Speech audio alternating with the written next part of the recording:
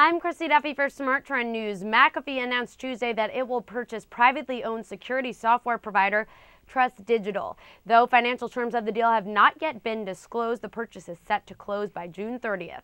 McAfee released a statement that read, quote, McAfee expects that Trust Digital's strong foothold in the mobile security market will extend McAfee's endpoint market, addressing a wide range of mobile operating systems, including iPhone OS, Android, Web OS, Windows Mobile, and Symbian.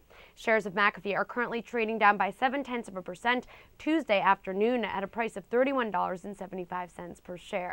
I'm Christy Duffy for Smart Trend News. For more on this story, visit our website, tradethetrend.com. You can also find more news and market analysis on our YouTube channel, Trade the Trend.